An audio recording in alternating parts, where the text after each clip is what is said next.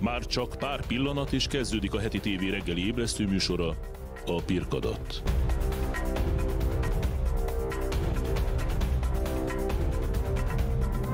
Élőben a stúdióból jelentkezik Brajer Péter. A Pirkadat mai vendége Fles Tamás, a Magyar Szálloda Szövetség elnöke, szép jó reggelt kívánok! Jó reggelt kívánok! Szebb napokat ránk. Jó ez az idő most a turistáknak? Hisz azért nincsenek hegyeink, ahol síelni lehet. Ja, tegnapi jól nézett ki szerintem a városban, amikor hófehér volt. Ez a mai elázott szürke, ez nem annyira, de hát majd lesz ez Mennyire vannak a szállodások megelégedve azzal, amit a főváros erején felül próbál produkálni, Vörösmarty téri kirakodó vásár szinte a város minden pontján történik valami. Igen. Hát ugye a, a, a karácsonyi vásárokat most már nem a főváros csinálja, mert az máshova került. Ettől függetlenül mi azt gondoljuk politikamentesen, hogy a, a karácsonyi vásárok az nekünk nagyon nagy segítség Budapesten. Hát én emlékszem azért olyan időkre, mondjuk jó két évtizeddel ezelőtt, amikor decemberben alig lézengett vendég Budapesten, ma meg a hétvégékre egyszerűen nincsen szoba budapesti szállodákra, mert jönnek a külföldiek, és ennek az egyik fő oka a karácsonyi vásár. Erre rásegít a, az osztrák turizmus, mert Bécsbe sincsenek szabad szobák. Így van.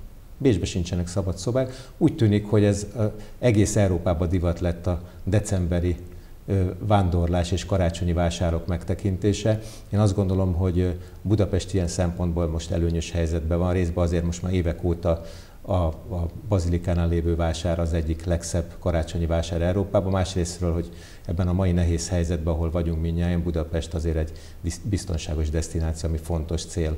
Ez lett volna a következő kérdésem, hogy több politikus is arról beszél, nem csak a saját politikusunk, hanem más országok vezetői is, hogy eh, Budapest az egyik legbiztonságosabb hely. Láttuk ugye, hogy Németországban a karácsonyi vásárokon az elmúlt években minden történhetett. Tuktuk, nálunk idáig ilyen nem volt. Igen, igen, mi is leszoktuk kopogni. Bízunk benne, hogy így is lesz. Egyébként abba bízunk, hogy sehol nem lesz semmi, de, de én is rengeteg emberrel beszélgetek, akár magyarokkal vagy külföldiekkel, akik most nagyon meggondolják, hogy hova utaznak. Ilyen szempontból ez a hívó szó, hogy Budapest egy biztonságos destináció, ez sokat számít.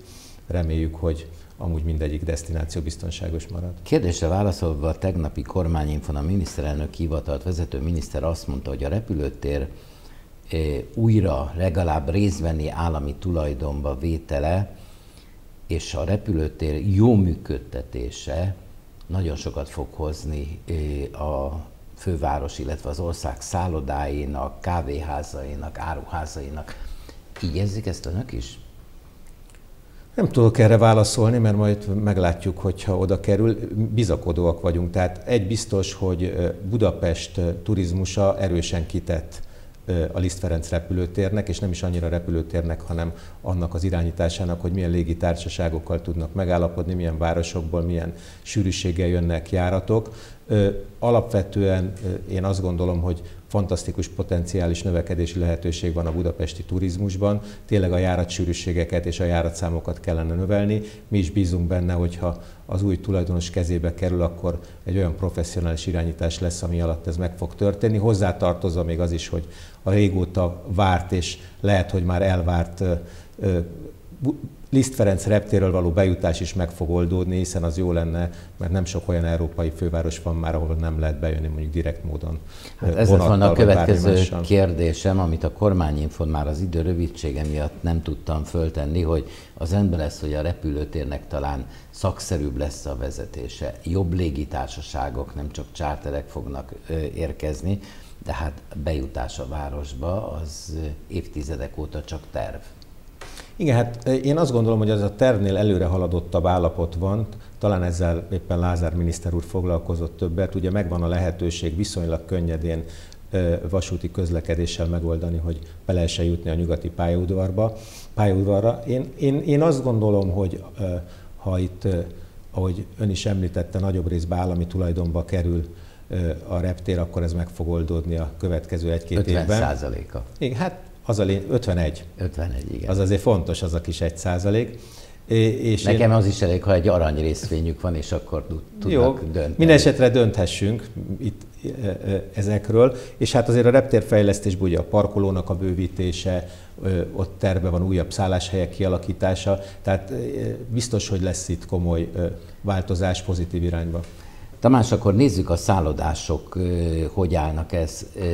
A chartergépek jó-jó, ágyak el vannak foglalva, de hát azért a napi pénzmennyiség, amit itt elköltenek, tehát a bevétel, az, az inkább a puboknak elegendő, nem a szállodáknak.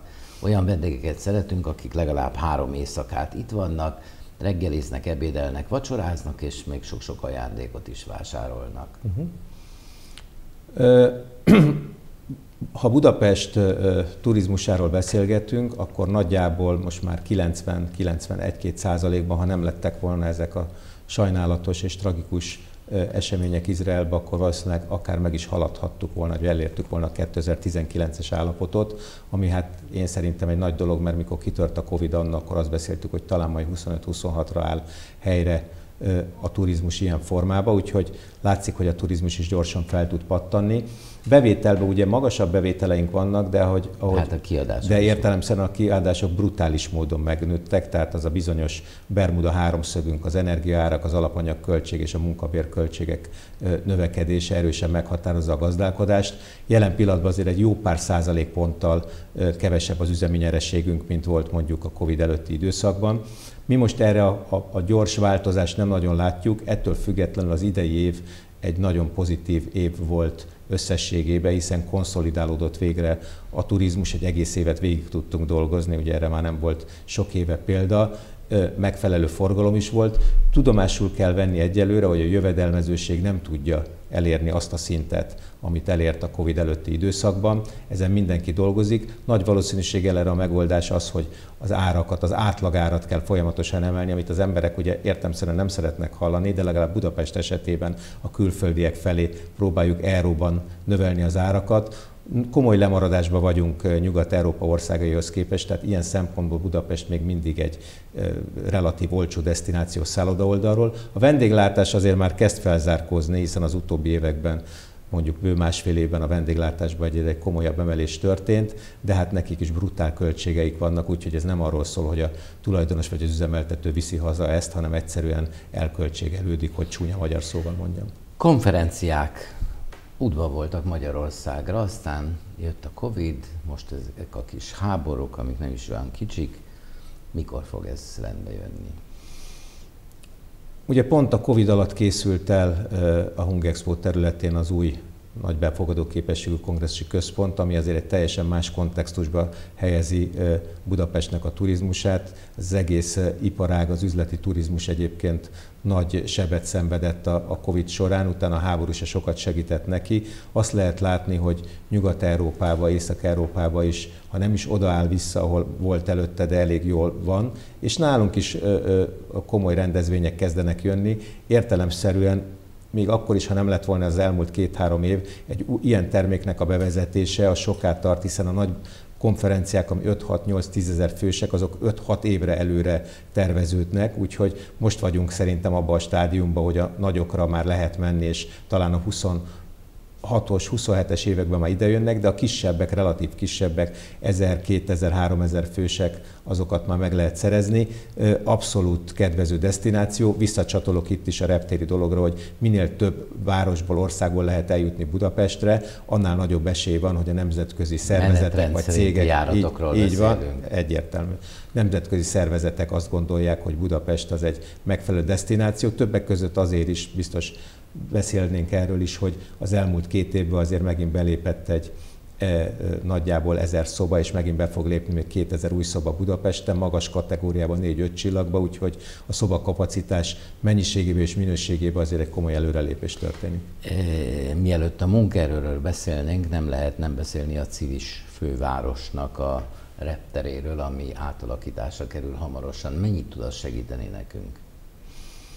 Minden segít nekünk, tehát minden egyes olyan új termék vagy szolgáltatás, ami, ami a könnyebb eljutást jelenti az országba, az segítség. Értelemszerűen ott az üzleti turizmus is nagyon erős, de hát a szabadidős turizmus is erős volt az elmúlt években, hiszen most pontos adat nekem nincs a fejembe erről, de hát az Izraelből lélekező turisták száma is magas volt azon a reptéren is, és nem csak a, a, a, ez a reptér, de ugye szó van a Sármeléki reptérnek a, az újragondolásáról, a, a, a megép, újraépítéséről, vagy felújításáról. A Sármelékihez ahhoz azért kellenének az orosz turisták is, mert ők kemény nem pénzeket csak, hagytak. Igen, biztos, hogy kellenek az oroszok, majd vissza fognak jönni az oroszok, mert, mert előbb-utóbb, ugye hál' Istennek nem csak a, a, illetve sajnos a jó is véget szokott érni, de a, hál' Istennek a rossz is, de összességében azért, ha Sármeléken lenne reptér, olyan, ami komoly szinten használható, azért Németországból és egyéb destinációkból is jobban lehetne